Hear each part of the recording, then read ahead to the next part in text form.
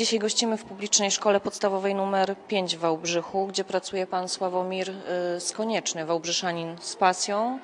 Y, A jego pasją jest fotografowanie się, ale fotografowanie się ze znanymi ludźmi, ze sportowcami, z y, pisarzami, z aktorami, z dziennikarzami, z gwiazdami polskiej sceny muzycznej, z gwiazdami sceny zagranicznej.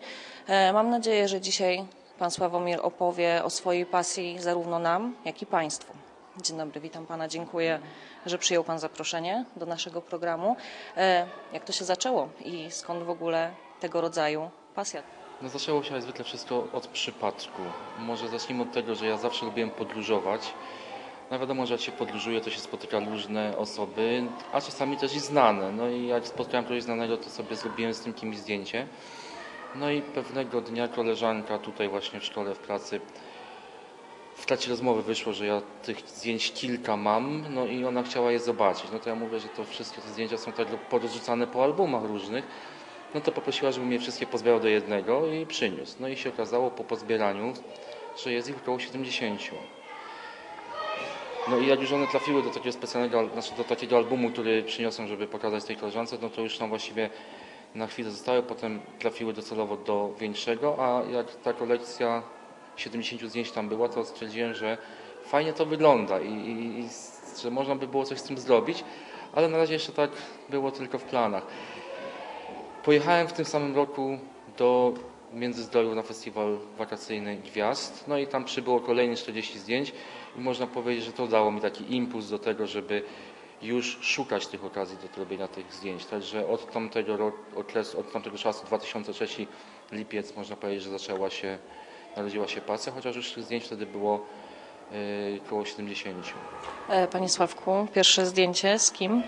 E, Pierwsze zdjęcie z Marcinem Dańcem. Była sytuacja taka, że pan Marcin Daniec ze swoim kabaretem przyjeżdżał co roku do Wałbrzycha w ferie akurat i chodziliśmy z kolegą, bo byliśmy fanami te, tego kabaretu. No i pewnego razu, pewnego roku stwierdziliśmy, że zrobimy sobie zdjęcie. I tak powstało właśnie pierwsze zdjęcie dwa- 1995 rok, dokładnie w lutym.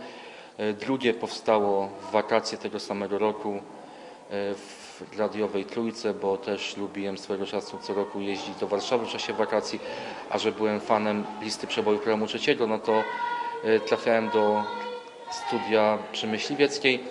No i pewnego dnia też, kiedy tam byłem, okazało się, że była jakaś osoba ze Szczecina, która miała swój aparat i mi tym aparatem zrobiła zdjęcie, bo ja wtedy jeszcze się tak aż bardzo nie interesowałem tym robieniem zdjęć, po prostu chciałem tylko być na, na tej liście przebojów na żywo w programie uczestniczyć, a, a nie w celu robienia zdjęcia. Natomiast no, ona sobie zrobiła, no co wiem, że też chce. No i faktycznie zrobiła mi to zdjęcie, przysłała, także dzięki, dzięki uprzejmości tej koleżanki ze Szczecina mam to zdjęcie, której w ogóle nie znam, tak, tak przy okazji.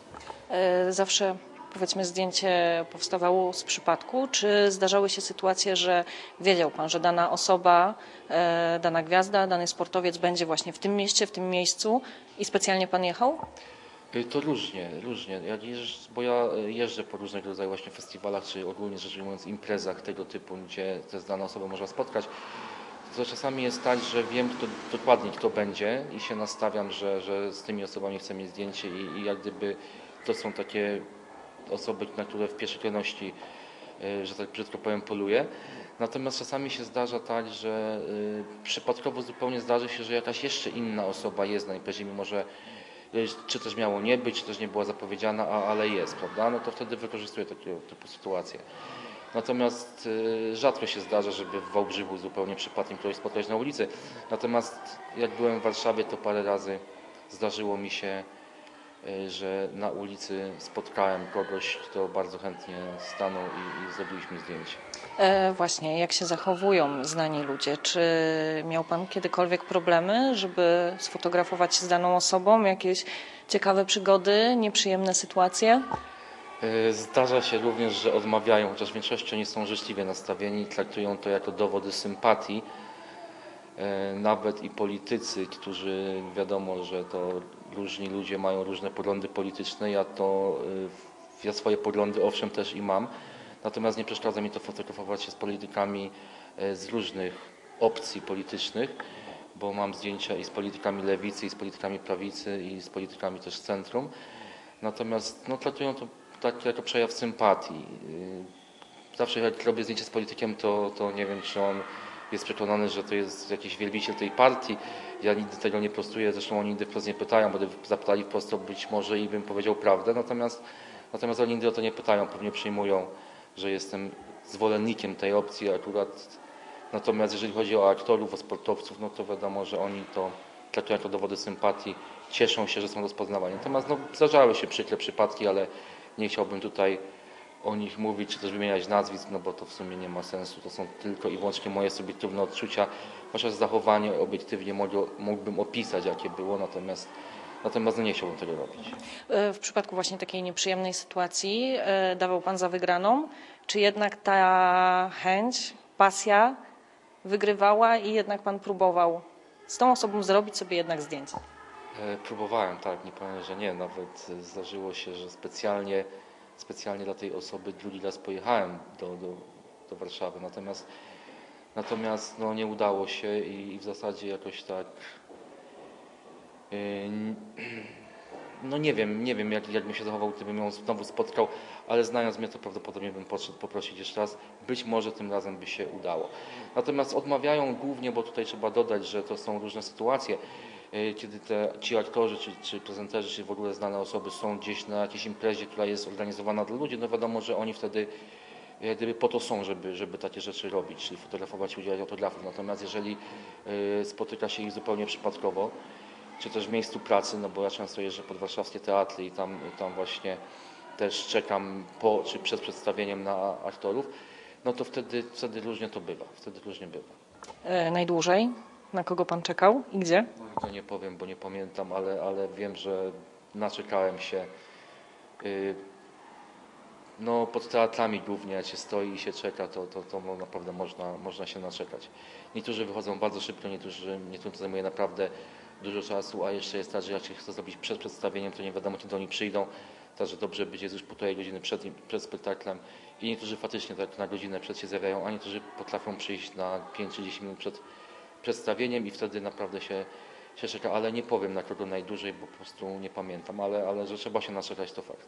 E, Ile na tą chwilę liczy zdjęć Pana kolekcja i kogo warto wymienić?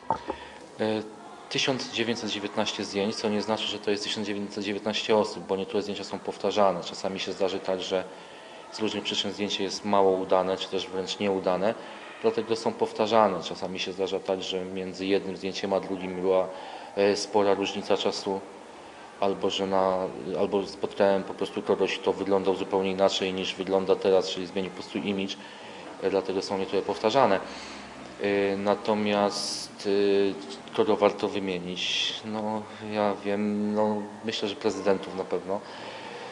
Z trzema prezydentami czwar- trzeciej Rzeczpospolitej, już się spędziłem z czwartą. Trzeciej Rzeczpospolitej mam zdjęcia z panem Aleksandrem Kwaśniewskim, z panem Lechem Wałęsą, z panem Bronisławem Komorowskim, obecnym prezydentem. Nie udało się zrobić jedynie i spotkać nieżyjącego już prezydenta Lecha Kaczyńskiego. Y, z premierami III Rzeczpospolitej, oprócz trzech to ze wszystkimi. Teraz dokładnie już nie pamiętam z tego wszystkiego, ilu ich dokładnie jest, ale, ale no, z trzema nie mam. Z obecnym panem Tuskiem, z poprzednim panem Kaczyńskim zdjęcia są. Jeżeli chodzi o takie bardzo znane postaci, to na pewno jest Robert Kubica, na pewno jest Michel Platini, Adam Małysz. No w sumie to by trzeba było pooglądać. Tutaj akurat y, jest kilka przygotowanych do pokazania, także Także no, nie wiem, kto dla kogo jest aż tak bardzo znanym, sławną osobą. E, Właśnie zauważyłam, że niektóre zdjęcia są z autografami, są podpisane. Jak to się dzieje w momencie, kiedy no, Pan robi zdjęcie? Co dalej? Znajdujemy na nim autograf. Ten autograf pojawia się oczywiście dopiero dużo później, bo nie są to zdjęcia robione polaroidem, gdzie można od razu je podpisać. Dlatego zwykle jest tak, że jak gdzieśkolwiek na jakąś imprezę jadę, to wtedy to sprawdzam program i patrzę, który z tych, która z tych osób, które, z którymi zdjęcie mam, może się pojawić. Czasami też, jak nie ma w programie, to intuicyjnie mogę wyczuć, to był w zeszłym roku, na przykład albo dwa lata temu i wiem, że może się pojawić, mimo że w programie nie ma tego nazwiska. I te zdjęcia po prostu biorę ze sobą, mam taki specjalny pisar i wtedy jak spotkam drugi lub trzeci raz tą osobę, a mam akurat przy sobie zdjęcie, bo czasami się zdarza, że niestety spotkam tą osobę, ale zdjęcia akurat nie mam, No ale jak mam zdjęcie, spotkam osobę, to wtedy mi podpisuję. E, kogo jeszcze pan nie ma w swojej kolekcji? Kogo, a kogo chciałby pan mieć? Bardzo dużo osób jeszcze nie mam, to jest, jak powiedziałem, tysiąc, około 1650 osób, a tych znanych osób w Polsce nawet jest dużo, dużo więcej, nie mówiąc o zagranicy. Natomiast ja zawsze odpowiadam na pytanie, z kim chciałbym mieć zdjęcie e, z Markiem Kondradem. To jest taka osoba, która naprawdę brakuje mi tego zdjęcia i, i to, jest, to jest osoba, z którą bardzo bym chciał mieć fotografię. No dwa razy była okazja, czy też może zapowiedź, że pan Marek Konrad ma być raz w Empiku w Poznaniu, drugi raz na Festiwalu Filmów Fabularnych w Gdyni, ale e, ani za jednym, ani za drugim razem nie dojechał. E, pana wyjazdy ograniczają się tylko powiedzmy do, na terytorium Polski, czy również wyjeżdża pan za granicę i tam, jak to pan powiedział, również poluje? To znaczy za granicę owszem wyjeżdżam, bo taką drugą moją pasją są, jak powiedziałem, podróże. Wymyśliłem sobie, że chcę zwiedzić wszystkie stolice europejskie i tego się trzymam. Natomiast y, nie, za granicą, za granicę jeżdżę po to, żeby pooglądać jak to wygląda. Oczywiście gdyby się zdarzyło kogoś spotkać i rozpoznałbym tego kogoś, to wtedy oczywiście, że y, zrobiłbym wszystko, żeby to zdjęcie zdobyć. Natomiast nie, nie po to jadę, za, nie po to jeżdżę za granicę. Y, Takie wyjazdy za zdjęciami to są głównie, głównie po Polsce, głównie na imprezy, gdzie wiem, że, że kogoś mogę spotkać, ewentualnie kiedy wiem, że w Wałbrzychu coś się odbywa, to wtedy idę i, i no, czasami się udaje, czasami się nie udaje, w większości przypadków się udaje.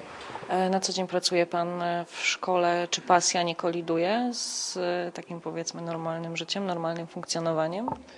Nie, no właśnie dużo osób się pyta, jak to się dzieje, że ja mam tyle tych zdjęć, że jeżdżę po Polsce i robię te zdjęcia i jeszcze grodzę to z pracą, natomiast no to jak się, jakby się było na moim miejscu, to by się dokładnie wiedziało, że to zajmuje naprawdę niewiele, niewiele, krótki wycinek mojego życia, bo e, w wakacje jest ten wakacyjny festiwal gwiazd, ewentualnie e, kilka razy do roku jeżdżę do Warszawy, czasami wiem, że coś się dzieje w Wałbrzychu czy tam w okolicach, to wtedy wieczór czy popołudnie spędzam na to, żeby do tego dotrzeć, ale to są naprawdę, yy, naprawdę takie sytuacje, bym powiedział, sporadyczne. To nie jest tak, że codziennie jakieś zdjęcie mi przybywa, albo że codziennie gdzieś tam jadę. Yy, Na co dzień po prostu jestem nauczycielem, pracuję, w, nie ruszam się z Wałbrzycha. Dopiero jak coś wiem, że się dzieje i że, że jest szansa, żeby, żeby cośkolwiek się udało zrobić, no to wtedy wsiadam w pociąg i, i jadę. E, Bardzo często wspomina Pan e, Warszawę. Czy to rzeczywiście jest takie centrum, gdzie można te największe gwiazdy spotkać? No tak, naj, najwięcej zdjęć mam zrobionych w Warszawie. No siłą rzeczy tam są te wszystkie teatry, w których osoby znane z telewizji pracują. E, Tam się odbywał Dzień Otwarty w telewizji, gdzie naprawdę e, były lata, że za jedną wizytą e, przybywało po 100-120 zdjęć. Także no to jest takie centrum właściwie że no wiadomo, stolica, wszystkie ważniejsze imprezy odbywają się w Warszawie. Zdarzyło mi się być na paru, jak Gala Mistrzów Sportu, jak telekamery, piłkarskie Oscary. No temu jeżdżę pod teatry, cztery chyba razy byłem na dniu otwartym w telewizji. Także siłą rzeczy Warszawa to jest to miejsce, gdzie tych zdjęć jest najwięcej. E, Czy warto mieć pasję? Czy na przykład e, Pana pasja wypełnia w jakiś sposób życie, pomaga poradzić sobie z e, problemami, który, z którymi borykamy się na co dzień? Y, Tak, na pewno warto mieć pasję, natomiast czy moja pasja jakoś mi w życiu pomaga? W sumie to myślę, że tak, dlatego że kiedy, kiedy jest taki wyjazd gdziekolwiek poza Wałbrzych, to naprawdę można zapomnieć o tych wszystkich tutaj sprawach, może nie tyle problemach, co po prostu sprawach e, szkolnych czy też pracowniczych i, i można naprawdę się od tego gdyby odsunąć i, i troszeczkę jak gdyby na świeżości potem wrócić. Dlatego właśnie w zeszłym tygodniu zaprosili mnie do telewizji i początkowo nie chciałem jechać, bo jest, było dużo pracy przed Tygodniem Kultury Brytyjskiej. Natomiast później stwierdziłem, że taka, taki dzień wolny mi się przyda, że, że naprawdę to mi do, do, dobrze zrobi. No niestety okazało się, że do Warszawy nie dojechałem z przyczyn atmosferycznych, ale, ale odpocząłem sobie. Tą sobotę spędziłem gdyby wyłączony z tych spraw szkolnych, co też miało myślę dobry wpływ na, na, to, na tą pracę w tym tygodniu kultury, który naprawdę był takim dość tygodniem no, zapracowanym, że tak powiem. E, Jest Pan w stanie powiedzieć, ile, no powiedzmy, rocznie przybywa Panu zdjęć? To znaczy, jak to sobie nawet i liczę z tym, że tutaj teraz to aż wstyd powiedzieć, bo ostatnimi laty niestety coraz mniej. W 2003 tych zdjęć zdaje się było 110, potem w pewnych okresach czasu to było tak, że było e, około 300 zdjęć rocznie. W jednym roku nawet to było e, 395 zdjęć, natomiast potem to już tak jak gdyby maleje. No i w tym roku e, właściwie to chyba żadnego jeszcze nie zrobiłem. E, Jest pan również laureatem nagrody Pro Wikimedia. Co to za nagroda? E, Jak trafiła do pana rąk? E, Te moje zdjęcia opublikowane są na stronie internetowej. Kiedyś postanowiłem, że sobie te wszystkie moje zdjęcia, bo one były jeszcze robione aparatem analogowym, te pierwsze, zeskanuję i wstawię do internetu. No i znalazłem portal Yahoo, który oferował taką jak gdyby stronę, czy też taki serwis umożliwiający opublikowanie swoich zdjęć. No i w 1996 roku te zdjęcia tam trafiły. Co prawda po roku Yahoo ten serwis zarzucił, stwierdzili, że nie, nie będą tego prowadzili, ale powstał, czy też był, po prostu oni poinformowali, że jest coś takiego jak Flickr i te zdjęcia po prostu tam automatycznie przeniesiono. No i na tym Flickrze te moje zdjęcia się pojawiały, potem one były dodawane i do dnia dzisiejszego tam, jeżeli cokolwiek nowego się pojawi, to dodaję. No to było gdzieś w 97 roku, kiedy te zdjęcia trafiły na Flick, no i od tamtej pory okazało się, że ten Flick to jest strona, która jest dość popularna i, i często oglądana. No i znalazł mnie pan z Wikipedii, który napisał do mnie z prośbą, czy mógłbym udostępnić te zdjęcia do ilustrowania biogramów znanych osób właśnie na Wikipedii. E, Wymagało to ode mnie zmiany licencji tych zdjęć, no także tą licencję zmieniłem, wyraziłem zgodę i w zasadzie zapomniałem o tym wszystkim. Ale właśnie w zeszłym roku w marcu pani z Wikipedii odezwała się i mówi, że oni w tym roku ufundowali nagrodę Pro Wikimedia dla osób, które jakoś pomagają e, w prowadzeniu tej Wikipedii, no i że zostałem laureatem kategorii osoba prywatna. No i 27 marca pojechałem do Warszawy i odebrałem e, nagrodę Pro Wikimedia. Panie Sławku, ja dziękuję za spotkanie. Proszę jeszcze powiedzieć e, na koniec, gdzie zainteresowani mogą z- obejrzeć pana zdjęcia. Tak jak powiedziałem na stronie e, Flickra to jest flickr.com e, ukośnik fotos ukośnik znani. Dziękuję jeszcze raz za spotkanie. Mam nadzieję, że w tym roku tych zdjęć przybędzie jednak dużo więcej. A ja zachęcam do odwiedzenia strony pana Sławka, do zapoznania się z jego kolekcją zdjęć i być może to zainspiruje kogoś z państwa do tego, żeby również znaleźć swoją pasję.